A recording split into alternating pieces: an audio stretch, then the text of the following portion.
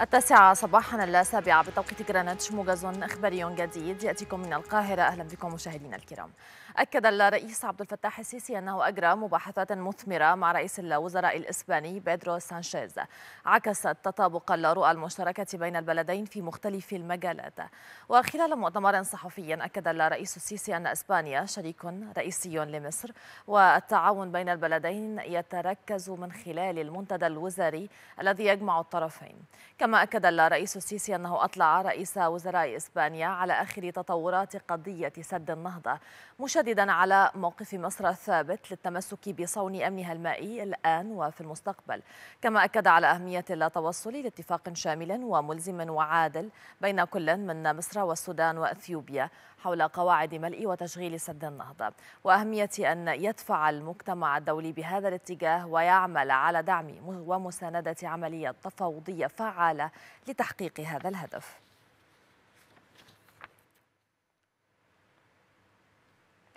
هذا وكان الرئيس عبد الفتاح السيسي قد استقبل بقصر الاتحادية رئيس حكومة إسبانيا بيدرو سانشيز وأكد المتحدث الرسمي باسم رئاسة الجمهورية أنه تم عقد جلسة مباحثات منفردة بين الرئيس وسانشيز. عقبتها جلسة مباحثات موسعة بين وفدي البلدين. كما أعرب رئيس الحكومة الإسبانية عن تطلع بلاده للعمل على الارتقاء بالتعاون الثنائي مع مصر في كافة المجالات خاصة في ظل الدور المحوري الذي تقوم به مصر في إرساء دعائم الأمن والاستقرار في الشرق الأوسط والبحر المتوسط.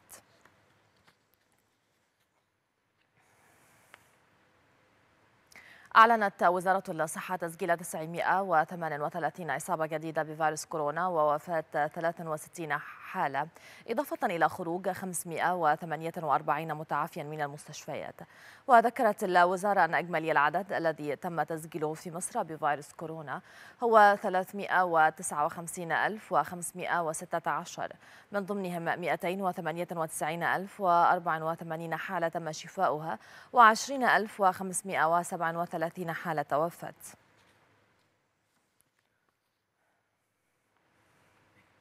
أكد المركز النيجيري لمكافحة الأمراض والوقاية منها أن متغير أوميكرون كان موجودا في البلاد منذ أكتوبر أي قبل أسابيع من اكتشافه في جنوب أفريقيا.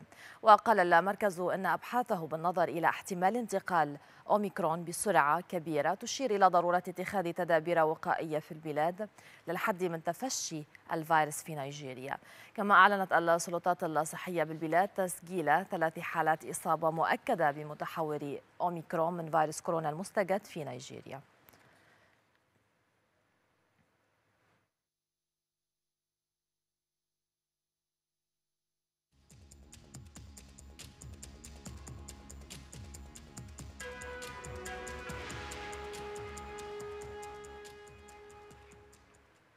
استقبلت المفوضية الوطنية للانتخابات في ليبيا الشحنات الأولية الخاصة بمواد عملية الاقتراع.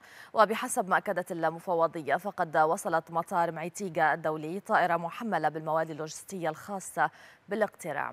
تحتوي على صناديق الأدوات التي يحتاجها الموظفون داخل مراكز الاقتراع.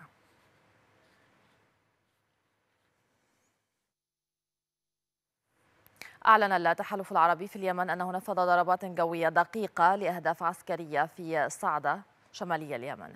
كما أشار التحالف العربي في بيان أن الضربات الجوية استهدفت أيضا مخازن أسلحة وموقعين تحت الإنشاء للاستخدام العسكري في العاصمة اليمنية صنعاء. مطالبين المدنيين بعدم التجمع أو الاقتراب من المواقع المستهدفة.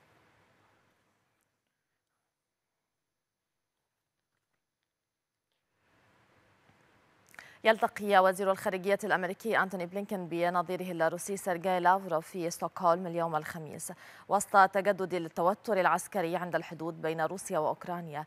وذلك على هامش اجتماع منظمة الأمن أو منظمة الأمن والتعاون في أوروبا.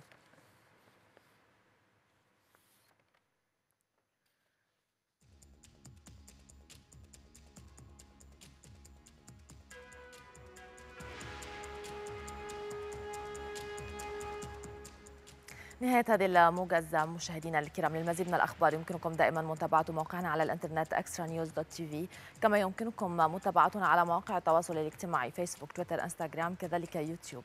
أشكر لكم حسن المتابعة. نذهب الآن لفاصل قصير ثم نعود استكمال ما تبقى من هذا الصباح.